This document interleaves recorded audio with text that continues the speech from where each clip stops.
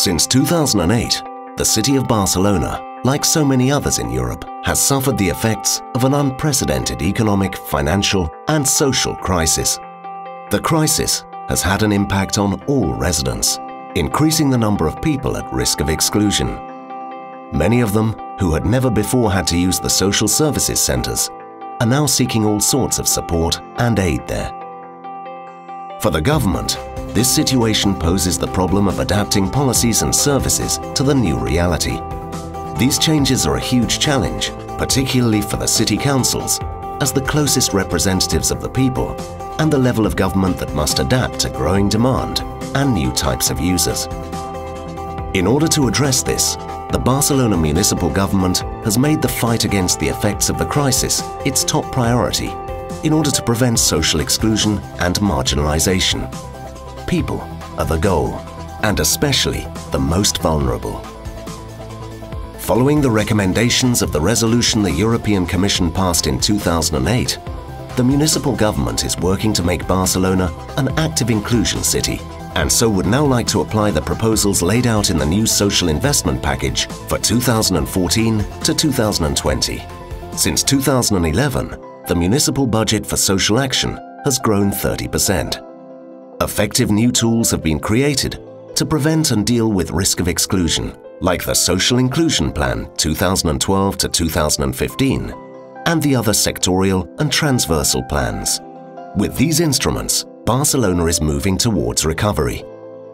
The waiting list for a first visit with social services has been reduced Social services centres are more efficient and better coordinate the demands of residents, working with the idea of creating a single point of contact. Home care and telecare services have gained in quality and number of users.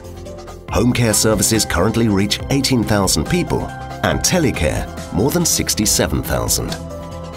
The city has a new policy regarding the homeless, opening up new shelters. A new winter centre has also been opened with a new action plan. Now they provide global care for those who come to the centre within social services.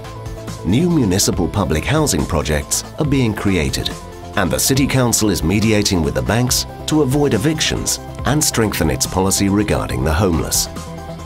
Services are grouped in hubs geared towards specific groups like young people, women who have been the victim of domestic violence and teenagers.